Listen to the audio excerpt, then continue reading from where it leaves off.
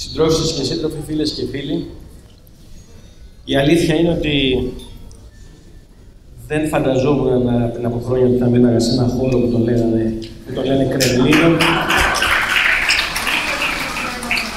Πολύ περισσότερο εγώ ο οποίος προέρχομαι και από το χώρο της Ανατολικής Αριστεράς. Αλλά δεν το φανταζόμουν στην κυριολεξία ότι θα ήμουν σε αυτό το χώρο όταν σπούδαζα και ήμουν πρωτοετής και έκανα μάθημα στο, ως φοιτητής βιομηχανικής στον Πυραϊκό Σύνδεσμο. Το 1970... Δεν το λέω, 9, 9. Το λέω 9 γιατί μπορεί κανείς να νομίζει το νωρίτερα. Συντρόφισσες και σύντροφοι, φίλες και φίλοι, νομίζω ότι για άλλη μια φορά βρισκόμαστε ως χώρα, ο λαός της, σε μια αρκετά δύσκολη στιγμή. Ίσως τη δεύτερη πιο δύσκολη στιγμή από το καλοκαίρι του 2015. Το καλοκαίρι του 2015, με τις οριακές καταστάσεις, τη διαρκή αβεβαιότητα, όσες στιγμές τότε δεν είχαμε φτάσει πρόσωπο με πρόσωπο με την τυφλή σύγκρουση, τη τυφλή ρήξη. Το καλοκαίρι του 2015 με το δημοψήφισμα, αυτή την κορυφαία στιγμή των τελευταίων ετών, η οποία αποτελεί μια εγγραφή, μια παρακαταθήκη και που αν δεν είχε συμβεί πολλά θα είχαν αλλάξει επιταχύρω. Και αυτό είναι μια απάντηση σε όσους κάνουν μια εύκολη κριτική, κάποιοι και πρώην συντροφοί μας ότι ξεχάσαμε το μήνυμα εκείνου του αποτελέσματος. Ο συμβιβασμός, ο επώδυνος συμβιβασμός που ακολούθησε μετά και οι εκλογές του Σεπτεμβρίου του 2015 που αποτέλεσαν τη δημοκρατική μας νομιμοποίηση για να πούμε σε αυτή τη δεύτερη φάση μιας με διαφορετικό τρόπο διαρκούς αντιπαράθεσης ενός πολέμου ο οποίος δεν, δεν είχε τις οξύνσεις της πρώτης περίοδου, αλλά είχε στην κυριολεξία του μέσα της μέσα της όλε αυτές τις μεγάλες συγκρούσεις στο πλαίσιο της πρώτης αλλά και της δεύτερης συνεχιζόμενης διαπραγμάτευσης. Αυτές τις εκλογές, αυτή τη δημοκρατική νομιμοποίηση που οι αντίπαλοι μας, όταν μιλούν για μας, εννοούν να το ξεχνάνε, γιατί δεν τους βολεύει. Παρόλο ότι ήταν μια στάση οριμότητας, μία επιλογή δύσκολη, μπορεί να μην ήταν ηρωική, το να, είχα, να συμβιβαστούμε τότε και να πάμε σε εκλογές αμέσως μετά, αλλά ήταν εκείνη η επιλογή που επέτρεπε, που έδινε την δυνατότητα σε εμάς να δοκιμάσουμε τα όρια μας, να παλέψουμε με έναν διαφορετικό τρόπο, να κερδίσουμε και να μην κερδίσουμε πράγματα από αυτά που φανταζόμασταν τότε και συνεχίζουμε και τώρα, αλλά που ήταν μια επιλογή η οποία απέτρεπε τα χειρότερα. Την τυφλή ρήξη. Ήταν μια επιλογή η οποία δεν θα οδηγούσε το σύνολο της κοινωνίας σε μια ακόμη μεγαλύτερη βίαιη φτωχοποίηση. Δεν θα άφηνε την κοινωνία έρμεο του ακραίου νεοφιλελευθερισμού δεν θα άφηνε την κοινωνία έρμεω σε ένα πολιτικό προσωπικό το οποίο ομνύει στο όνομα αυτών των πολιτικών που εφαρμόζουν αυτά τα χρόνια, όχι μόνο στην Ελλάδα, σε όλη την Ευρώπη, αλλά με ιδιαίτερη ένταση στην πατρίδα μας. Ένα πολιτικό προσωπικό της Νέας Δημοκρατίας και του Πασό που πέρα από τις μεγάλες ευθύνες τους που οδηγήσαν τα πράγματα ως εδώ, εξακολουθούν ιδιαίτερα από την πλευρά της Νέας Δημοκρατίας και υπεραμείνονται της λογικής των προγραμμάτων λιτότητας. Και αυτό αποτελεί μια πολύ μεγάλη διαφορά με εμάς. Μια διαφορά την οποία πρέπει να την υπενθυμίσουμε συνέχεια. Διότι είναι διαφορετικό να εφαρμόσεις πράγματα όταν βρίσκεσαι απέναντι με υπέρτερους συσχετισμούς, με παγιωμένες καταστάσεις, όταν έχεις να αντιμετωπίσεις απέναντί σου έναν ιδιόμορφο πόλεμο από το εσωτερικό και από το εξωτερικό, να συνειδητοποιήσει ότι δεν έχεις πολλά περιθώρια επιλογών, αλλά να λες ότι εγώ δεν συμβιβάζομαι με αυτή την πολιτική, εγώ δεν παραδέχομαι ότι αυτή η πολιτική είναι μονόδρομο. Και είναι τελείως διαφορετικό να λες περίπου αυτό που μας είχαν πει πριν από λίγο χρόνια, ότι υπάρχει ο μονόδρομος της νεοφιλελεύθερης λιτότητας, ότι έχει υπάρξει το τέλος της ιστορίας, ότι μοιάζουμε όλοι πάρα πολύ, ότι οι διακρίσεις των προηγούμενων δεκαετιών μεταξύ αριστεράς και δεξιάς έχουν τελειώσει. Τα λέω αυτά γιατί θεωρώ ότι εάν πράγματι μας δείτε κάποια στιγμή να κοντοστεκόμαστε και να παραδεχόμαστε μια στρατηγική ήττα, γιατί μια πολιτική ήττα την υποστήκαμε όλοι και ζούμε σε συνθήκες πολιτικής ήττας.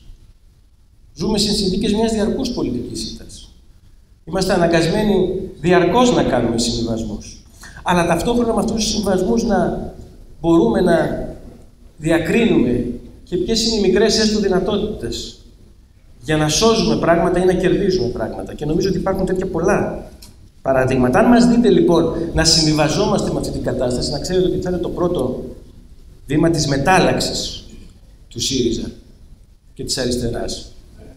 Διότι μπορεί να υποστήκαμε μια μεγάλη πολιτική ήττα, αλλά η μεγαλύτερη πολιτική ήττα είναι όταν υιοθετείς τις προτάσεις του αντιπάλου σου. Και αυτό δεν το κάνουμε ποτέ. Διότι έχουμε συνείδηση ότι αυτή η πολιτική έχει αρνητικές επιπτώσεις σε ένα μεγάλο κομμάτι της ελληνικής κοινωνίας. Έχουμε συνείδηση ότι δεν βελτιώθηκε όπως θα θέλαμε η θέση των εργαζομένων. Γνωρίζουμε ότι μέτρα τα οποία περιορίζουν το εισόδημα της μεγάλης πλειοψηφίας της κοινωνίας δημιουργούν καταστάσεις ασφυκτικέ για αυτές. Πιστεύουμε όμως, πιστεύουμε όμως ότι υπάρχουν περιθώρια για να δοθεί αυτή η μάχη. Μία μάχη όμως η οποία δεν μπορεί όμως να δοθεί μόνο στο ελληνικό έδαφος, μόνο από τον ελληνικό λαό. Είναι μια μάχη, είναι μια υπόθεση των ευρωπαϊκών λαών πρώτα απ' όλα. Δεν σημαίνει αυτό ότι στην διαπραγμάτευση δεν υπάρχουν όρια.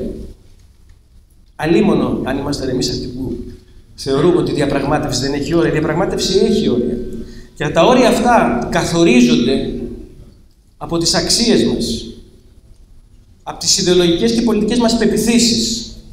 Και είναι αλήθεια ότι πολλές φορές φτάσαμε στα όρια των πεπιθήσεών μας, όπως χαρακτηριστικά έχει υποθεί και από άλλους συντρόφους μας. Νομίζω ότι όλα αυτά είναι γνωστά πρώτα απ' όλα στον κόσμο της αριστεράς και στην ελληνική κοινωνία. Γνωρίζει ο κόσμος ότι δεν είμαστε εμείς οι οποίοι αποτελούμε την αυθεντική έκφραση αυτών των πολιτικών που εφαρμόζονται αυτή τη στιγμή. Και το χαίρεται αυτό. Προτιμάει αυτούς οι οποίοι παλεύουν να λιάνουν τις επιπτώσεις μιας αντικοινωνικής πολιτικής από αυτούς οι οποίοι την καθαγιάζουν. Αυτού του είδους την πολιτική σχέση με τον κόσμο πρέπει να την διατηρήσουμε. Και μπορεί να την διατηρήσουμε μόνο στο όνομα της ειλικρίνειας, στο όνομα της περιγραφής όλων των δυσκολιών, στο όνομα της παρουσίασης όλων των διλημάτων, στο όνομα της παρουσίασης όλων των αβέβαιων διλημάτων. Διότι δεν υπάρχουν βεβαιότητες ότι αυτή η πολιτική θα οδηγήσει σε ένα ξέφωτο. Υπάρχει όμως η δικιά μας βεβαιότητα για το τι πρέπει να κάνουμε. Συντρόφισσες και σύντροφοι, φίλες και φίλοι,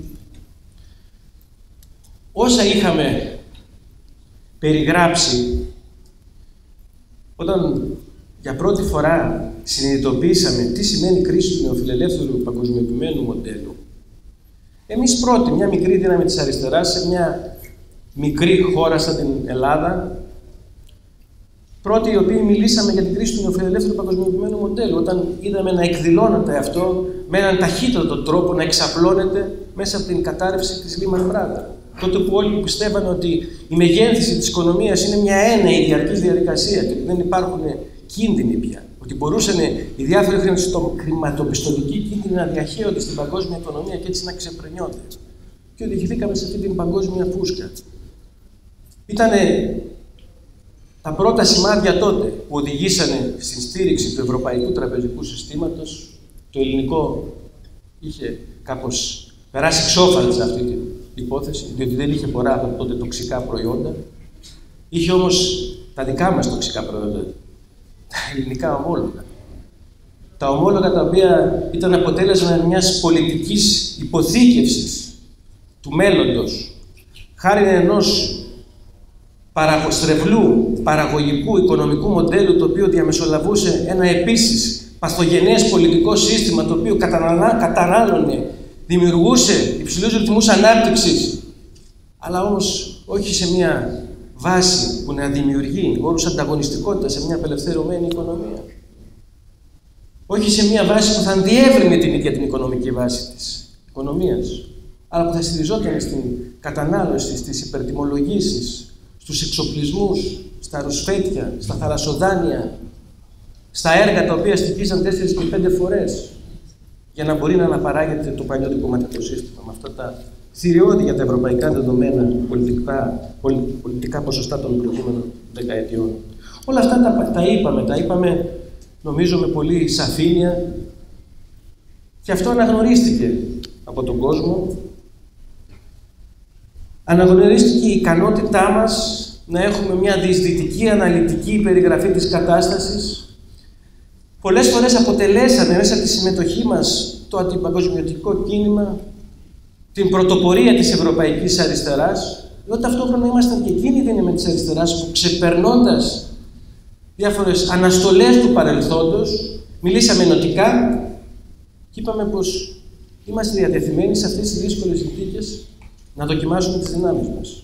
Να αναλάβουμε τις ευθύνες που μπορεί ενδεχομένως να μας αναθέσει ο λαός και μας ανέθεσε ο λαός. Σε αυτή τη φάση της διαρκούς ταλάντευσης των διαρκών ερωτημάτων και αγωνιών βρισκόμαστε όλο αυτό το διάστημα. Για άλλη μια φορά επιβεβαιώνεται λοιπόν πως το χρέος δεν είναι απλά και μόνο ένα μέγεθος, δεν είναι μόνο αυτά που χρωστάμε. Χρωστάμε και με δικές μας ευθύνες. Χρωστάμε και στη βάση βεβαίως της ίδιας της ελληματικής συγκρότησης της Ευρωζώνης που δημιουργούσε τα δικά μας ελλείμματα και τα πλεονάσματα των ισχυρών οικονομιών της κεντρικής Ευρώπης και των ισχυρών ευρωπαϊκών οικονομιών. Γνωρίζουμε τις δικές μας ευθύνες. Αλλά όμως, το χρέος αποδείχθηκε και ένα πολιτικό όπλο στα χέρια των αντιπάλων μας. Ένα όπλο, ένα μέσο χειραγώγησης της ελληνικής κοινωνίας. Και βλέπετε όλο αυτό το διάστημα πως παρόλο ότι έχουν αυξηθεί οι φωνές που μιλούν για την ανάγκη αναδιάρθρωσης του χρέους, παρόλο ότι δεν είναι το 2017 ή και από τα μέσα του 2016 η κατάσταση δεν είναι η ίδια σε σχέση με αυτούς που μας καταλαβαίνουν περισσότερο ή που ενώνουν τη φωνή τους μαζί μας με αυτή που ήταν το 2015. Παρ' όλα αυτά οι εκαμψίες της Ευρώπης, ο τρόπος που λειτουργεί, δείχνουν να μην είναι σήμερα ορατό να υπάρξει μια γενναία αναδιάρθρωση του χρέους. Και αυτό έχει την πολιτική του σκοπιμότητα. Νομίζω ότι ουσιαστικά ήμασταν και εξακολουθούμε να είμαστε ένα πειραματόζωο. Όχι μόνο για να εφαρμοστούν ακραίες νεοφιλελεύθερες πολιτικές, αλλά για να αρχίσει να επεδώνεται η Ευρώπη, η Ευρώπη των πολλών ταχυτήτων. Αυτά τα οποία είχαν υποθεί πριν από λίγες εβδομάδες στη συνάντηση της Ισπανίας, της Ιταλίας, της Γαλλίας και της Γερμανίας, όπου το περάσαμε λίγο στα ψηλά, είναι από αυτά που τα μέσα μαζικής ενημέρωσης στην Ελλάδα δεν στέκονται, δεν τα αναλύουν, ήταν τελικά η συμφιλίωση των ηγέτων των σημερινών δυνάμεων με την Ευρώπη των πολλών ταχυτήτων. Μία Ευρώπη όπου, όπως πολύ σωστά λέγαμε τόσα χρόνια, του δημοκρατικού ελλείμματος, μία Ευρώπη η οποία διευρύνει τις ανισότητες ανάμεσα στις ισχυρές οικονομίες και τις περιφερειακές, μία Ευρώπη η οποία όλο ένα και περισσότερο απομακρύνεται από τις μεγάλες αξίες που, την, που οδήγησαν στη συγκρότησή τους και που διαμορφώθηκε κάτω από άλλες συνθήκες. Ήταν τότε οι συνθήκες της μεγάλης, της ισχυρής ευρωπαϊκής σοσιαλδημοκρατίας, μιας ιστορικής σοσιαλδημοκρατίας με ισχυρούς δεσμούς με, με το εργατικό κίνημα και τα λαϊκά κινήματα. Ήταν το αποτέλεσμα των αγώνων μετά τον Δεύτερο Παγκόσμιο Πόλεμο που είχε οδηγήσει στο ευρωπαϊκό κοινωνικό κράτος αλλά και στην ανάγκη να υπάρχει η συγκρότηση της Ευρωπαϊκής Ένωσης ως πλέον μια νέας παγκόσμιας δύναμης που θα εγγυάται την ειρήνη, την αλληλεγγύη, που θα προωθεί την υπόθεση της δημοκρατίας.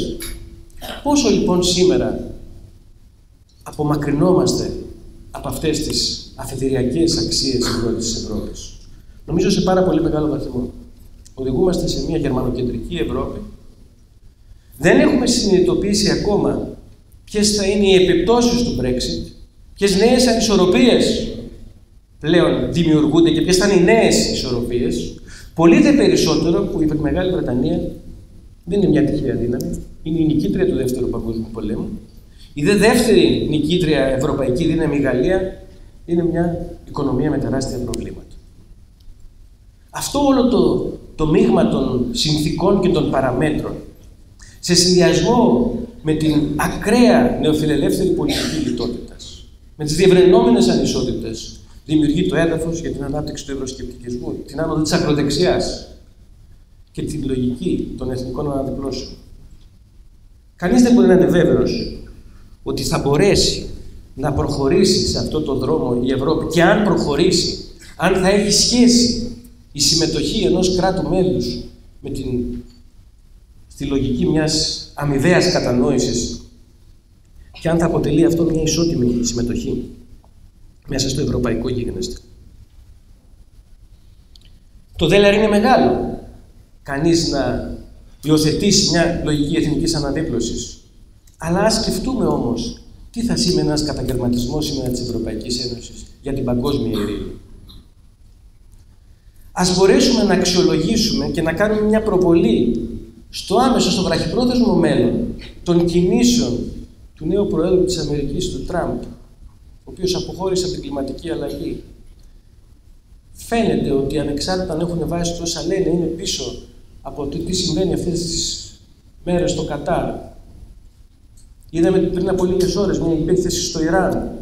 Πώς νέοι κίνδυνοι πια για την παγκόσμια ειρήνη δεν είναι απλώς μια εικασία, δεν είναι μια εκτίμηση μακριά από εμάς, αλλά φαίνεται ότι είναι ένας ορατός κίνδυνος. Απέναντι λοιπόν σε αυτή την κατάσταση η δικιά μας αριστερά δεν πρέπει να υποκύψει στην υιοθέτηση μιας λογικής εθνικής αναδίπλωσης, η οποία μπορεί να έχει και μια λεβεντιά, μια ηρωικότητα. Αλλά νομίζω ότι αν κέρδισε σε κάτι ο παγκόσμιος νεοφιλελευθερισμός, είναι ότι πήρε το προβάδισμα στην υπόθεση της διεθνοποίησης, της παγκοσμιοποίησης, της υποχώρησης των οικονομικών συνόρων. Σε αντίθεση με την αριστερά που δεν κατόρθωσε να έχει έναν παγκοσμιοποιημένο ή με άλλα λόγια, μια και βρισκόμαστε σε ένα χώρο που λέγεται Κρεμλίνο, ένα πραγματικά διεθνιστικό λόγο, μια διεθνιστική απάντηση. Εκεί λοιπόν είναι το ζητούμενο, εκεί είναι μεγάλη πρόκληση ο συντονισμός των δυνάμεων της εργασίας, των ευρωπαϊκών κινημάτων, νέων και παλιών, θα το λέγαμε πριν από μερικά χρόνια, έτσι ώστε να μπορέσουμε να διατυπώσουμε ένα εναλλακτικό μοντέλο παγκοσμιοποίησης. Μια αριστερή εκδοχή παγκοσμιοποίησης, που δεν θα υιοθετεί τη λογική των εθνικών ανταγωνισμών, αλλά που πραγματικά θα συνιστά ένα νέο ποιοτικό άλμα στην υπόθεση της αλληλεγγύης των λαών, της συνεργασίας, αλλά και της προώθησης της δικαιοσύνης της δημοκρατίας. Θα μπορούσε κανείς να παρομοιάσει τη χώρα μας σαν μια βασανισμένη ή έναν, που βασανίζεται στον τρίτο όροφο των φυλακών και μη, μη σας φαίνεται υπερβολικό αυτό. Γιατί βασανιστήρια είναι αυτά τα οποία υφίσταται ο ελληνικός λαός. Ποτέ μετά το Δεύτερο Παγκόσμιο Πόλεμο, ποτέ μετά τη συγκρότηση της Ευρωπαϊκής Ένωσης, δεν έχει υπάρξει μια τέτοια αντιμετώπιση ενός λαού σαν και αυτή που αντιμετωπίζουμε. Και δεν είναι μόνο η σκληρότητα των μέτρων, είναι και η απαξίωση της εκλεγμένης δημοκρατικής ηγεσίας, είναι οι παρεμβάσεις, είναι η εκμυδένιση των βαθμών ελευθερίας. Θα μπορούσε λοιπόν να το παρουσιάσει έναν φυλακισμένο, όπου όμως το μόνο ορατό που είναι μπροστά του είναι ένα παράθυρο το οποίο έχω ξεχάσει να βάλουν κάγκελα, μόνο που είναι στον τρίτο όροφο. Για να ανοίξεις και βγει έξω θα πέσεις κάτω. Και όπως πολύ σωστά σε μια πρόσφατη συνέντευξή του, ο Θοδωρής ο είπε: Κάθε ρήξη κρίνεται όχι μόνο από τις προθέσεις, αλλά από τα αποτελέσματά της. Νομίζω ότι κάπως έτσι το είπες και με εκφράζει απόλυτα. Αυτό οφείλουμε να κάνουμε εμείς ως πολιτικό κόμμα, ως πολιτικός οργανισμός, ως υπεύθυνη κυβέρνηση. Να σκεφτόμαστε όχι μόνο με βάση το θυμικό, όχι μόνο με μια αφηρεμένη συνέπεια σε σχέση με τις αξίες μας και τις αρχές μας, αλλά να σκεφτόμαστε τι παράγει η δικιά μας πολιτική και οι δικές μας κινήσεις. Συντρόφισσες και σύντροφοι, φίλες και φίλοι, μέσα λοιπόν σε αυτές τις συνθήκες, νομίζω πως έχουν καταγραφεί και διάφορες χαμένες ευκαιρίες που ακριβώς δείχνουν την δυνατότητα του άλλου δρόμου. Είναι η χαμένη ευκαιρία, όχι ολοκληρωτικά, προς το παρόν θα έλεγα εγώ, η χαμένη ευκαιρία των ποδέμων στην Ισπανία. Το θετικό αποτέλεσμα στην Πορτογαλία, η άνοδος των δυνάμεων της αριστεράς στις γαλλικές εκλογές του Μελανσόν. Όλα αυτά τα οποία, εάν είχαν γίνει λίγο διαφορετικά, θα μπορούσαν να σημαίνουν μια διαφορετική ισορροπία. Με αγωνία περιμένουμε το αποτέλεσμα των Βρετανικών εκλογών, που μπορεί να δημιουργήσει μια άλλη εικόνα και να στείλει διαφορετικού τύπου μηνύματα στους δοκιμαζόμενους ευρωπαϊκούς λαούς. Βρέθηκα προχθές, πριν μερικές εβδομάδες, στο Στρασβούργο για μια δουλειά του Υπουργείου Εσωτερικών και έβγαλα μια ομιλία για την δημοκρατία και την αυτοδιοίκηση. Και εκεί πραγματικά οι συζητήσεις όλες που έκανα στο πλαίσιο του Ευρωπαϊκού Συμβουλίου, που συμμετέχουν όχι μόνο οι χώρες της Ευρωπαϊκής Ένωσης, αλλά σύνολος των ευρωπαϊκών λαών κρατών, ανέδειε άνεμο δημοκρατίας. Είναι αυτά που δεν ακούμε. Δεν μπορείτε να φανταστείτε με πόση κατανόηση, πόση κατανόηση δείχναν στις δικές μας επισημάνσεις. Πόσο θεωρούσαν ότι αυτές οι πολιτικές που εφαρμόζονται εδώ στο όνομα της Ευρωπαϊκής Ένωσης είναι ουσιαστικά πολιτικές που υπονομεύουν το αξιακό φορτίο της Ευρωπαϊκής Ένωσης και βρίσκονται σε μια εντελώς διαφορετική κατεύθυνση. Αυτή τη συζήτηση νομίζω οφείλουμε να παθαίνουμε και να κάνουμε και εμείς. Ξεφεύγοντας καμιά φορά από το σοκ της κυβερνησιμότητας που δεν μας αφήνει να συζητάμε και να αναστοχαζόμαστε για τα μέχρι τώρα βήματά μας, γιατί μέχρι τώρα πολλοί μας είναι πολλές οι εμπειρίες που έχουν συμβεί. Και έχουμε ανάγκη με βάση την δικιά μας αναλυτική σκέψη, με τον τρόπο τον δικό μας, τον μεθοδικό και συλλογικό, να δούμε τι κάνουμε από εδώ και μπρος. Νομίζω ότι παρόλο όμως αυτές τις συνθήκες, τις δύσκολες,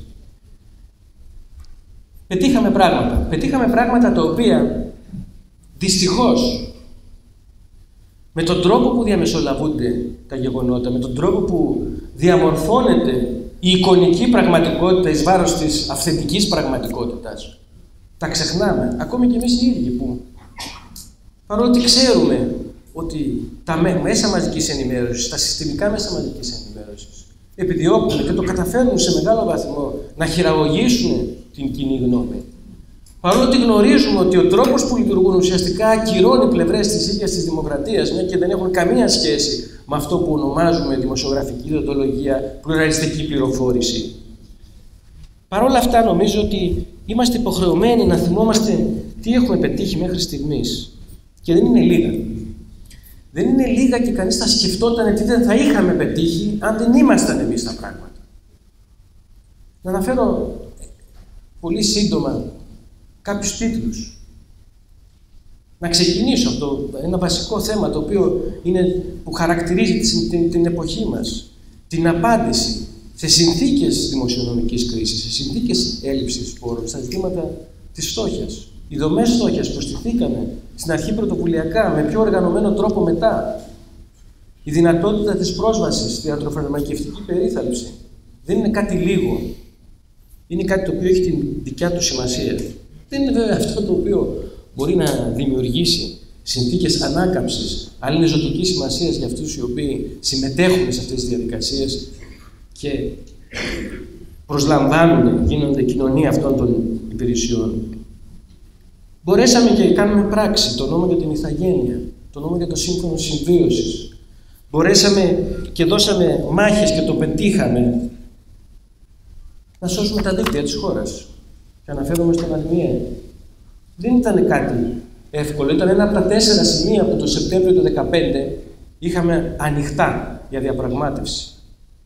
Ήταν τα ζητήματα της ηλεκτρικής ενέργειας και τα δίκτυα, ήταν τα θέματα των κόκκινων δανείων, το συνταξιοδοτικό και εργασιακές σχέσεις. Νομίζω ότι στον τομέα αυτό πετύχαμε κάτι το οποίο αποτελεί μια παρακαταθήκη, διότι όταν εξασφαλίζεις το δημόσιο χαρακτήρα των δικτύων, δεν το κάνεις για τον ένα, για τα δύο, τρία χρόνια. Το κάνεις για τον επόμενο μισό αιώνα. Σε μια στιγμή, μάλιστα, απελευθέρωσης της αγοράς. Σε μια στιγμή ραγδαίων μεταβολών στην αγορά ενέργειας. Εμείς κατορθώσαμε και δώσαμε αυτή τη μάχη, όχι με μια λογική οπισθοφυλακών, και αυτό αξίζει να το λέμε για να βγάζουμε συμπεράσματα. Είναι διότι μπορέσαμε στις νέες δεδομένες συνθήκες να έχουμε ένα εναλλακτικό σχέδιο. Μπορέσαμε ταυτόχρονα και σπάσαμε αυτό το φαύλο σύστημα των κρατικών προμηθειών. Δεν θεωρώ ότι ξαφνικά όλα γίνονται όπως πρέπει να γίνονται, ότι λυθήκαν οι παθογένειες, αλλά σπάσαν η βασική αρμή της φαυλοκρατίας. Ενώ δεκάδες υποθέσεις, που κατά από άλλες, προ... άλλες περιπτώσεις θα ήταν πρωτοσέλιδα και πρώτη είδηση στα μέσα μαζικής ενημέρωσης, πηγαίνουν στην δικαιοσύνη. Οι λίστες των μεγαλοκαταθετών στο εξωτερικό ψάχνονται μετά από χρόνια. Βεβαίως το σύστημα έχει τους δικούς του ρυθμούς που δουλεύει, έχει τις, το, τους δικούς τους τρόπους αυτοπροστασίας. Το γνωρίζαμε, αλλά είναι τελείως διαφορετικό. Το να το ζεις, το να έχεις στα χέρια σου έναν κρατικό μηχανισμό ο οποίος από τη μία νιώθει απαξιωμένος από τις πολιτικές λιτότητες ή από την περιθωριοποίηση των πιο ικανών, από την άλλη είναι διαβρωμένος με εκείνο το κομμάτι το οποίο σε στενή υπηρεσία με το προηγούμενο πολιτικό κατεστημένο λειτουργούσε όπως λειτουργούσε και εμείς οι οποίοι με τις ελλείψεις μας, με την νεκρή μας εμπειρία κληθήκαμε να κολυμπήσουμε στα βαθιά. Μέσα λοιπόν σε αυτές τις δύσκολες συνθήκες διαρκώς επιχειρούν οι αντίπαλοι μας να δημιουργήσουν μια ψεύτικη εικόνα. Σήμερα η δημόσια ζωή, η δημόσια πολιτική ζωή χαρακτηρίζεται από μεγάλους μύθους και ψεύδι. Υπάρχει όμως και πραγματικότητα. Το μεγαλύτερο ψέμα ή ένα από τα μεγάλα ψέματα είναι αυτό που λέγεται ότι η κυβέρνησή μας είναι μια κυβέρνηση η οποία είναι πιστή στον κρατισμό, είναι ενάντια, τοποθετείται ενάντια στις επενδύσεις και μισεί οτιδήποτε αφορά τον ιδιωτικό τομέα. Εγώ θα ήθελα να μιλήσω με παραδείγματα. Για να πω ότι πίσω από αυτά τα συνθήματα των αντιπάλων μας, ουσιαστικά κρύβεται η δικιά τους μεροληπτική τοποθέτηση, όχι γενικά και όριστα υπέρ των, του ιδιωτικού τομέα και της ελεύθερης αγοράς. Αυτό ούτως ή άλλως είναι κάτι το οποίο χαρακτηρίζει την παγκόσμια οικονομία και όλοι έχουμε αποδεχθεί την λειτουργία της αγοράς, με διαφορετικούς κανόνες βέβαια ο καθένας. Αλλά όταν για παράδειγμα μας εγκαλούν ότι χάρη των δικών μας πολιτικών ακυρώθηκε η ιδιωτικοποίηση του δέσπα, πρέπει να δούμε τι συμβαίνει κάτω από αυτό τον τίτλο. Και να δούμε τελικά ποια πολιτική δύναμη ήταν αυτή η οποία μέσα από τις κινήσεις που έγινε προσπάθησε να ματαιώσει έναν σκανδαλώδη διαγωνισμό όπως αυτή του δέσπατου διαχειριστή φυσικού αερίου της χώρας. Ένας διαγωνισμός ο οποίος είχε γίνει από τις κυβερνήσεις Σαμαρά το 2012 είχε ολοκληρωθεί, είχε υπάρξει πλειοδότης η Αζέρη με 400 εκατομμύρια. Και που δεν προχώρησε λόγω ότι ευτυχώς θα έλεγα εγώ η Ευρωπαϊκή Ένωση ζήτησε κάποιες διευκρινήσεις όχι με τους όρους διαγωνισμούς, αλλά σχέση με τα χαρακτηριστικά της συγκεκριμένης εταιρείας και κατά πόσο αυτά ήταν σύντομα με το ευρωπαϊκό νομικό πλαίσιο. Κατά πόσο δηλαδή η ΣΟΚΑΡ μπορούσε να είναι και παραγωγός εταιρεία φυσικού αερίου και να κατέχει και τα δίκτυα. Όσο εδώ έχει καλά. Εκείνο όμως που δεν έχει καλά είναι πως όταν εμείς τολμήσαμε να αγγίξουμε έναν κανονισμό τιμολόγησης ο οποίος οδηγούσε και έδινε τη δυνατότητα στους νέους αγοραστές να αυξήσουν κατά 68% τα τέλη χρήσης του δικτύου με ανυπολόγιστες επιπτώσεις και στα νοικοκυριά και κυρίως όμως εκείνες τις επιχειρήσεις που χρησιμοποιούν φυσικό αέριο για την παραγωγή τους, εκεί ξεσηκωθήκαν όλοι. Εκεί απειλήθηκε η πρώτη διαπραγμάτευση. Αν θυμάστε, αυτή είναι η ατζέντα της συζήτησης πέρσι το Μάιο. Δεν θα παίρναμε τα λεφτά, διότι θεωρήσαμε ότι δεν μπορεί να υπάρχει ένας διαγωνισμός όπου κάποιος να δίνει 400 εκατομμύρια και να έχει να παίρνει 550. Αυτή ήταν η αντίληψη της δικιάς τους ελεύθερης αγοράς. Μα αυτό πια είναι τελείως αντιφατικό και σε σχέση με αυτούς οι οποίοι μπορεί να ομνύουν στην, στην αόρατο χείρα της αγοράς τον Άνταμ Σμιθ. Αυτό είναι ένα στημένο πράγμα το οποίο ξέραν πολύ καλά να υπηρετούν το Πασόκ και η Νέα Δημοκρατία. Αυτός ο βαλκανικού τύπου ελληνικός πράσινο-γαλάζιο καπιταλισμός, ο οποίος ευδοκίμησε τα προηγούμενα 40 χρόνια. Και βλέπουμε και άλλες τέτοιες περιπτώσεις. Μας εγκαλέσανε, επιτρέψτε μου, συγχωρέστε με αν τα παραδείγματά μου είναι από το χώρο της ενέργειας, αλλά ήταν το περισσότερο διάστημα των κυβερνητικών μου ευθυνών σε αυτό το Υπουργείο. Μας εγκαλέσανε για τη ΔΕΗ. Μας εγκαλέσανε για τη ΔΕΗ και τα προβλήματα που έχει τώρα, όταν ήταν αυτοί οι οποίοι όπως φόρτωσαν το ελληνικό δημόσιο με, με εκατοντάδες δισεκατομμύρια χρέη το ίδιο κάνανε στη ΔΕΗ, τα 5 δισεκατομμύρια χρέη, τα οποία τα πήρανε για να κάνουν τι; Για να, μην, για να έχουμε φτάσει το 2017 να υπάρχει κάτω από 2% η διείσδυση της ΔΕΗ στις ανανεώσιμες πηγές ενέργειας, να βγαίνει η γενόπηδα ή και να λέει αστείες τοποθετήσεις όπως η χθεσινή, για να μην υπάρχει δυνατότητα πλήρους αξιοποίησης της μονάδας φυσικού αερίου στην Μεγαλόπολη, η πιο μεγάλη μονάδα φυσικού αερίου, η οποία ανήκει στη ΔΕΗ, κόστησε πάρα πολλά χρήματα, αλλά επειδή δεν έχει ολοκληρωθεί το δίκτυο, την υποεκμεταλλευόμαστε, μόνο το 30-33% της δυναμικότητάς του. Για να πληρώνουμε 400 εκατομμύρια για να ηλεκτροδοτείται με έναν ρηπογόνο τρόπο η Κρήτη, με ηλεκτρικές μονάδες παραγωγής με δίζελ και πετρέλαιο και να μην έχει προχωρήσει η διασύνδεση με το υπηρετικό σύστημα. Εκεί πήγαν τα 5 δισεκατομμύρια, δηλαδή τίποτα. Όταν γνωρίζουμε πολύ καλά ήταν και αυτοί που εισήγαγαν τον τρόπο ίσπραξης του ΕΤΙΔΕ,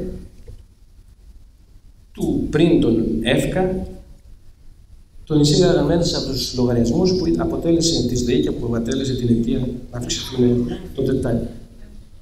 Αυτό δεν είναι Δίκιο έχετε. Αυτό σημαίνει ότι με παρακολουθείτε. Σας ευχαριστώ. Λοιπόν, ε, που ήταν η αιτία της ε, αύξηση, της υπέροχης αύξηση των εξυπρόθεσμων χρεών. Αλλά όμως έχουμε και πιο έτσι επικαιροποιημένες καταστάσεις. Γίνεται αυτές τις μέρες μια μεγάλη συζήτηση γύρω από το ελληνικό. Το ελληνικό ήταν μία από τις απόλυτες, σαφείς, καθαρές δεσμεύσεις όταν υπογράψαμε το 2015 ότι θα έπρεπε να προχωρήσουμε την ιδιωτικοποίηση του. Ανεξάρτητα ποια είναι η προσέγγιση του καθενός πριν από εκείνη την ημερομηνία, έγινε μια πολύ μεγάλη προσπάθεια έτσι ώστε με έναν, μια και μιλάμε για μια παρέμβαση που δεν θα είχε προηγούμενο στο λεκανοπέδιο, μια χρονοταξική, μια δομική, μια κυστική παρέμβαση, να γίνει αυτή με ενταγμένη μέσα ένα σχέδιο, με κάποιους όρους και προποθέσει. Να υπάρχει πρόσβαση στο θαλάσσιο μέτωπο, να υπάρχει το πράσινο, να υπάρχουν κοινόχρηστοι χώροι, να μην είναι ένα περίκλειστο φρούριο. Έγινε μια διαπραγμάτευση η οποία αποτυπώθηκε ως ένα βαθμό με, την, με τον φορέα της επένδυσης. Και τι ακούμε αυτή τη στιγμή, ότι δεν προχωράει η επένδυση, διότι σε μια περιοχή που είναι τόση, υπάρχει μια κουκίδα εδώ πέρα που χαρακτηρίζεται δασική, η άλλη μια που χαρακτηρίζεται ως αρχαιολογική. Και αυτό είναι σοβαρό επιχείρημα και δεν είναι σοβαρό επιχείρημα κανείς να αποκριτογραφήσει τη στάση της συγκεκριμένης εταιρείας, η οποία φαίνεται ότι έχει μάθει να επενδύει μόνο στη λογική του real estate περιμένοντας ίσως ότι θα υπάρχουν κάποιες εγκρίσεις, να πουλήσει κάποιες μετοχές και να κερδοσκοπήσει με αυτόν τον τρόπο ή πουλώντας κομμάτι-κομμάτι, πράγματι που δεν έχει καμία σχέση με όλο αυτό το δίθεν μεγαλόπνοο σχέδιο που ήθελε να υπηρετήσει αυτή η επένδυση. Αυτή είναι λοιπόν η άλλη όψη της πραγματικότητας, μάλλον αυτή είναι η πραγματικότητα. Και όχι αυτά τα οποία νύχθημερών μας λένε. Τα ξέρει βέβαια πολύ καλά ο Νίκος Ομπελαβίλας που είναι εδώ πέρα, πολύ καλά τι ακριβώς συμβαίνει γύρω από αυτή την υπόθεση και δεν είναι μία μόνη. Όπου λοιπόν και να ανοίξαμε την πόρτα αυτό το διάστημα που βρισκόμαστε στην κυβέρνηση, βρήκαμε μπροστά μας το μνημόνιο. Το μνημόνιο όχι μόνο σκληρές πολιτικές, αλλά το μνημόνιο ως καθεστώς. Το μνημόνιο ως μια αντίληψη η οποία διεισδύει σε όλους τους αρμού της κοινωνίας, που θέλει να καθορίζει τον τρόπο που θα βλέπει την εκπαίδευση, τον τρόπο που θα βλέπεις τους, ιδιωτικού, τους, τους εκπαιδευτικούς στον ιδιωτικό τομέα όχι σαν εκπαιδευτικούς, αλλά σαν οποιοδήποτε άλλο εργαζόμενο, τον τρόπο που θα βλέπεις τα ζητήματα της, του περιβάλλοντος, της χωροταξίας. Όλα αυτό λοιπόν μας κάνουν να πιστεύουμε ότι ναι, αυτή δεν μπορεί σε καμιά περίπτωση να είναι πολιτική μας. Πρόκειται για μια νεοφιλελεύθερη πολιτική, την οποία αν είμαστε ξαναγκασμένοι να κάνουμε, γνωρίζουμε ότι πολλές φορές φτάνουμε στα όρια μας, αλλά αταλάντευτα όσο μας το επιτρέπει η εμπιστοσύνη που μας δείχνει ο κόσμος, θα προσπαθούμε να δημιουργούμε τους όρους απεμπλοκής από αυτή την κατάσταση. Μπορεί κάποιος να περιμένει κάτι από το επόμενο Eurogroup. Φαίνεται ότι η ισορροπία ανάμεσα στο Διεθνές Νομισματικό Ταμείο και τον γερμανικό παράγοντα τελικά είναι μια ισορροπία εις βάρος της Ελλάδος. Και ότι όποιες πραγματικές αντιθέσεις μπορεί να υπήρχαν όλο αυτό το διάστημα δεν σταθήκαν ικανές ή τόσο μεγάλες ώστε, ώστε να δημιουργήσουν τελικά και να οδηγήσουν σε μια κατάσταση που θα μας επέτρεπε να έχουμε κάτι πιο απτό στα ζητήματα του χρέους. Δεν σημαίνει όμως αυτό ότι τα πράγματα είναι στατικά και ότι θα πρέπει να υιοθετήσουμε μια στατική προσέγγιση των γεγονότων. Το γεγονός ότι η ελληνική οικονομία, αν την αφήναν απλά και μόνο να μην ασχολούνται μαζί της, και δεν εννοώ τα μέτρα τα οποία τα έχουμε πάρει ούτως ή άλλως, αλλά αν σταμάταγε αυτή η συζήτηση που λειτουργεί ως τροχοπέδι για επενδύσεις οι οποίες μπορούν να γίνουν και που έγιναν ως ένα βαθμό και περιμένουν να γίνουν ακόμα μεγαλύτερες ακόμα και στα χρόνια της κρίσης. Δεν είναι τυχαίο ότι εμφανίζουμε μια αύξηση στις εξαγωγές σε αυτές τις συνθήκες. Δεν είναι τυχαίο ότι παρόλο τα όσα γίνονται, αυτή η έρμη οικονομία αυξήθηκε, μεγενθήθηκε κατά 0,4% με τα στοιχεία που βγήκαν στο πρώτο διάστημα του 2017 που βγήκαν από την Ελστάτ. Αν δεν υπήρχαν λοιπόν οι πολιτικές παρεμβάσεις οι οποίες οδηγούν κάποιον να θεωρεί ότι γίνονται σκόπιμα για να είναι καθυλωμένη αυτή η χώρα, τότε είναι σίγουρο ότι μπορεί να υπάρξει μια δυναμική, συγκρατημένη, ναι, αλλά δυναμική. Και αυτό νομίζω είναι το στίχημα. Το να μπορέσουμε το διάστημα από εδώ και μπρος να, να γίνει πραγματικότητα αυτή η δυναμική της οικονομίας, η οποία θα προσδώσει και μια άλλη δυνατότητα προσέγγισης και στις μέχρι τώρα δεσμεύσεις της χώρας. Άρα, όταν φτάνει και λέει ο ίδιος ο κύριος Μητσοτάκης ότι θα διαπραγματευτεί το ύψος των πλεονασμάτων, παρόλο ότι ο ίδιος είχε δεσμευτεί για 4 και 4,5%. Ε, νομίζω ότι είναι αυτονόητο ότι κάτι τέτοιο είναι μέσα στις προθέσεις και πρέπει να είναι προθέσεις της παρούσας κυβέρνησης. Συντρόφοι και σύντροφοι, φίλες και φίλοι, νομίζω πως ε,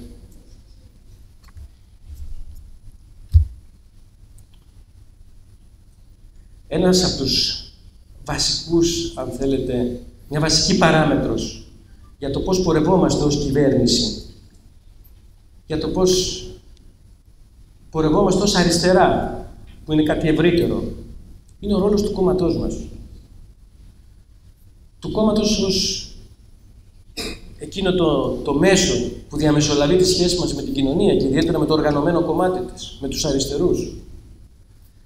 Εάν δεν μπορέσουμε σε αυτές τις συνθήκες να βγάλουμε τα σωστά συμπεράσματα με συλλογικό, οργανωμένο, δημοκρατικό τρόπο, με βάση τα δικά μας εργαλεία, αναλυτικά εργαλεία, τα αριστερά εργαλεία, με βάση τις δικές μας αξίες, τότε θεωρώ ότι ουσιαστικά θα κινούμαστε χωρίς μπούσουλα, χωρίς πηξίδα.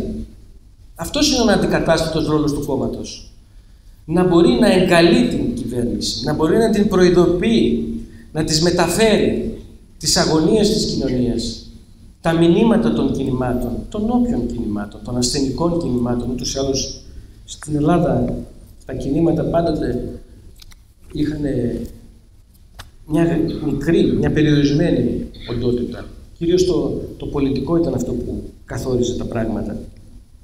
Εάν εμείς λοιπόν σε αυτή την κρίσιμη στιγμή των υψηλών ποσοστών δεν μπορέσουμε να έχουμε ένα μαζικό αλλά πολιτικοποιημένο κόμμα και όχι ένα κόμμα οπαδών.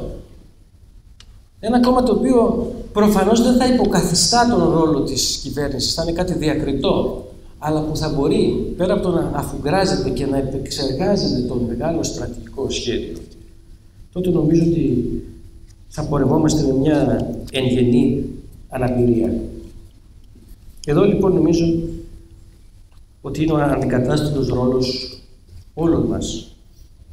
Και επειδή μιλάμε για ανθρώπους οι οποίοι έχουν πολλά χρόνια στην αριστερά, δυστυχώς οι νεότερες ηλικίες όλο και περιορίζονται στις κομματικές μας γραμμές. Μιλάμε για ανθρώπους οι οποίοι κάνανε αυτές τις επιλογές σε άλλες εποχές. Δεν επιλέξανε τη σιγουριά, τον καριερισμό. Επιλέξαν τη συνέπεια με βάση τις αξίες, τα ιδανικά της αριστεράς. Όλα αυτά πάνω στο οποίο προκύπτει και αυτό που αναγνωρίζει ακόμη ο κόσμος ως ηθικό πλεονέκτημα. Αυτό το ηθικό πλεονέκτημα που προσπαθούν οι αντίπαλοι μας με κάθε στρέβλωση, με κάθε τρόπο να το απομειώσουν. Ξέρετε, πολλοί λένε ότι ο Σόιμπλε θέλει να ρίξει την κυβέρνηση. Δεν ξέρω αν θέλει να τη ρίξει την κυβέρνηση. Το Brexit μπορεί να το επιθυμεί. Περισσότερο από όλους τους ισχυρούς κύκλους, συστημικούς, ευρωπαϊκούς και εγχώριους, τους ενδιαφέρει η απαξίωση της αριστεράς, η ομογενοποίηση του πολιτικού κόμματος, του κόσμου. Το να είμαστε περίπου όλοι οι ίδιοι, το να τελειώνει αυτή η υπόθεση των εναλλακτικών προσεγγίσεων, των εναλλακτικών αναγνώσεων. Γι' αυτό προσπαθούν με κάθε τρόπο να απαξιώσουν τα στελέχη της κυβέρνησης, το κόμμα ως κόμμα. Γι' αυτό οι μηχανισμοί αυτοί είναι αδίστακτοι, με χιλιάδες ψέματα, που φτάνουν από τα αστεία των δεκάδων διορισμών μέχρι άλλα τα οποία δεν έχουν καμιά σχέση με την πραγματικότητα. Μέσα σε αυτές τις συνθήκες και από εδώ και μπρος υπάρχουν μεγάλες συγκρούσεις, τις οποίες πρέπει να τις δούμε με ταξική μεροληψία. Θα σας πω ένα θέμα το οποίο είναι και αντιδημοφιλές, στο οποίο σπεκουλάρουν οι αντιπαλοί μας, το θέμα των συμπασιούχων, στους, στους δήμους και στον δημόσιο τομέα. Άνθρωποι οι οποίοι επί 10-15 χρόνια στις ίδιες θέσει με διαρκώς ανανεούμενες συμβάσεις καλύπτουν διαρκείς και πάγιες ανάγκες, το προηγούμενο πολιτικό σύστημα τους ήθελε για λόγους εκλογικής πελατείας όμοιρους. Και όταν εμείς προσπαθούμε να πούμε τα στοιχειώδη, να αποκαταστήσουμε την πραγματική τους εργασιακή σχέση, βρισκόμαστε αντιμέτωποι με στιμένες δημοσκοπήσεις όπου λένε ότι ο ΣΥΡΙΖΑ βάλει κατά του ιδιωτικού τομέα, διότι το κόστος αυτών των νέων προσλήψεων, μα εργάζονται ήδη τι νέες προσλήψεις. Και η δημιουργία αυτού του νέου κομματικού στρατού, μα είναι άνθρωποι οι οποίοι δουλεύουν εδώ και 15 χρόνια όταν ο ΣΥΡΙΖΑ στα ζήτητα θα γίνει εις βάρος του ιδιωτικού τομέα. Αυτό το αφήγημα σήμερα ακούγεται. Αυτό το αφήγημα πρέπει να σπάσουμε εμείς με τη δικιά μας, με το δικό μας πολιτικό λόγο, τη δικιά μας πολιτική παρουσία και επιχειρηματολογία. Συντρόφιε και σύντροφοι, φίλες και φίλοι, οι άλλες δυνάμεις νομίζω ότι της χώρας Όσον αφορά τη Νέα Δημοκρατία, δεν κρύβεται. Είναι αυτό που είναι. Υπεραμείνεται με κάθε τρόπο τις προσπάθειες να ξαναβρεθεί στα πράγματα. Για αυτούς, ξέρετε, είναι και μια συγκολητική ύλη το να βρεθούν ξανά στα κέντρα της κυβέρνησης για να ξαναστήσουν τα δικά τους μαγαζάκια, τους δικούς τους τρόπους που θα αρδεύουν την, την εκλογική τους πελατεία. Γι' αυτό τρελαίνονται. Γι' αυτό συντηρούν και το αίτημα των εκλογών διαρκώς. Διότι σου λέει ο άλλος πώς θα παραμένεις συσπηρωμένος, αν δεν πιστεύει ότι θα ξαναγυρίσει πίσω και θα έχει ας πούμε, την προνομιακή σχέση με το δημόσιο. Άλλωστε, κρατικοδίαιτος ήταν ο καπιταλισμός που φτιάξαμε. Όχι με την έννοια του μεγάλου κρατικού τομέα, αλλά με την έννοια της στήριξης των ιδιωτικών επιχειρήσεων με ένα μεροληπτικό τρόπο υπέρ των δικών τους συμφερόντων, υπέρ συγκεκριμένων ιδιωτικών συμφερόντων, εις βάρος της κοινωνίας και εις βάρος της δημόσιας περιουσίας. Αυτό με λίγα λόγια ήταν το, το αφήγημα. Αυτό με λίγα λόγια, όχι το αφήγημα, αυτό ήταν η πεμπτουσία της πολιτικής του δικοματικού πολιτικού συστήματος και μοντέλου που είχαν επιβάλει τα προηγούμενα χρόνια. Συντρόφιε και σύντροφοι, φίλες και φίλοι, Υπάρχει μια ενδιαφέρουσα κινητικότητα στην Ευρωπαϊκή Σοσιαλδημοκρατία, αλλά με ιστορική καθυστέρηση. Πώς λέγαμε ότι οι προσπάθειες της Περεστρόικα, είδατε οι αναφορές εδώ, πειρασμένους από το φόρο, ήρθαν με καθυστέρηση. Και γι' αυτό κατέρευσε υπάρχει ο σοσιαλισμός. Γιατί όταν έπρεπε να υπάρξουν εκείνες οι αναλυτικέ δυνάμεις οι οποίες θα οδηγούσαν σε μια αναγέννηση του ίδιου του αυτής της προσπάθειας που ξεκίνησε με την Οκτωβριανή Επανάσταση, ήταν πολύ αργά. Έτσι λοιπόν και η Ευρωπαϊκή Σοσιαλδημοκρατία σήμερα με ιστορική καθυστέρηση και έπτερα από δεκαετίες συμπόρευσης και υιοθέτησης του σοσιαλνεοφιλελευθερισμού προσπαθεί να βρει τα βήματά της. Παρ' όλα αυτά είναι μια ελπίδα το να μπορέσει να αποτελέσει έναν συνομιλητή της αριστεράς. Εμείς πάντοτε όμως θα ξεκινάμε, θα απευθυνόμαστε στο όνομα της αριστεράς, της ιστορικής αριστεράς, από το χώρο της αριστεράς. Προφανώς τη δικιά μας αντίληψη είναι η αντίληψη της διαμόρφωσης νέων κοινωνικών και πολιτικών πλειοψηφιών. Και με αυτή την έννοια επιδιώκουμε ένα διάλογο ο οποίος θα είναι φερέγγιος, ο οποίος δεν θα έχει και αφαιρέγγια πρόσωπα που θα τον κάνουν. Διότι όλες τις πολιτικές τελικά τις εκφράζουν και συγκεκριμένες προσωπικότητες με συγκεκριμένα χαρακτηριστικά. Οι μέχρι τώρα όμως διεργασίες δεν μπορούν να μας πείσουν, τουλάχιστον για τον ελληνικό χώρο. Υπάρχει μια τέτοια ενδιαφέρουσα κινητικότητα. Εκείνο νομίζω το οποίο οφείλουμε να κάνουμε είναι αυτό που λέγαμε και λίγο πριν. η ομή παρουσίαση της πραγματικότητας. Η ειλικρινής παρουσίαση της ομής πραγματικότητας. Χωρίς ωρεοποίησεις. Δεν έχουμε ανάγκη από κανενός είδους success story. Έχουμε ανάγκη από την παρουσίαση όλων των πλευρών της πολυσύνθετης σημερινής πραγματικότητας με τις δυσκολίες της και τις αβεβαιότητές της. Για να μπορέσουμε ακριβώς να διατηρήσουμε ζωντανή την επικοινωνία με τον κόσμο της εργασίας, με τους πιο αδύνατους, αυτούς που κατά προτεραιότητα εμείς θέλουμε να εκφράσουμε. Αυτούς που αρκετές φορές είμαστε αναγκασμένοι να δυσαρεστούμε, αλλά που θα πρέπει να τους το λέμε. Πολλές φορές συζητώντας με τον κόσμο, έχω την αίσθηση ότι καταλαβαίνει τα ζόρια της κυβέρνησης και αντιμετωπίζουν και μια είναι και σήμερα και μέρα πανελλήνων εξετάσεων, μας αντιμετωπίζουν όπως ο δάσκαλος, τον μαθητή, όπου του λέει «Είσαι καλό παιδί, αλλά γράψε κάτι στην κόλλα, να σου βάλω ένα δέκα να περάσεις. Λοιπόν, αυτό μην το υποτιμάτε, αυτή τη σχέση. Είναι το λαϊκό αισθητήριο που διακρίνει τον καριερίστα από αυτόν που ανιδιοτελώς θέλει να προσφέρει. Που διακρίνει το λαμόγιο από αυτόν που εμπνέεται τις μεγάλες αξίες της αριστεράς. Και ο κόσμος χαίρεται όταν εμείς δεν ξεχνάμε τις παραδόσεις μας. Ο κόσμος μας αναγνωρίζει ότι όταν εμείς υπερασπιζόμαστε τις μεγάλες αξίες της αλληλεγγύης, της δημοκρατίας, της ισότητας, της λιγότερης εκμετάλλευσης. Αυτά είναι το μεγάλο ιστορικό μας φορτίο. Πριν, ε, και θέλω να τελειώσω εδώ πέρα, πριν από λίγες μέρες μας το φίλησε η εποχή της Κυριακής Συμπληρώθηκαν τα 9 χρόνια από τον θάνατο του Άγγελου του Ελεφάτη. Θέλω να τελειώσω λοιπόν διαβάζοντας αυτό το μικρό απόσπασμα, δεν ξέρω πώς την πήρατε, από ένα άρθρο του που έλεγε πέρα από τη μεγένθηση. Πόσο επίκαιρο είναι, συζητάμε συνεχώς για μεγένθηση και ανάπτυξη. Έλεγε λοιπόν ο Άγγελος ο Ελεφάντης πόσο κοστίζει ο έρωτας, η καλή τρόπη, η παρέα, η συνεργασία, η συντροφικότητα, η φιλία, η φιλότητα, οι οικονομολόγοι, αν τους θέσουμε το ερώτημα, θα μας θεωρήσουν αναχρονιστικούς. Όμως, χωρίς προηγου... τις προηγούμενες αρετές, πολλοί από αυτούς, χωρίς την, χωρίς την προσφορά στους άλλους, ούτε οι ίδιοι, γραβατωμένοι αγραβιά γραβάτα προγραμματιστές, δεν θα μπορούσαν να ζήσουν έστω και μια στιγμή. Αυτή είναι η ματιά του αριστερού, αυτή είναι η συλλογική μας ματιά, σε αυτήν πρέπει πάνω απ' όλα να παραμείνουμε συνεπείς. Σας ευχαριστώ.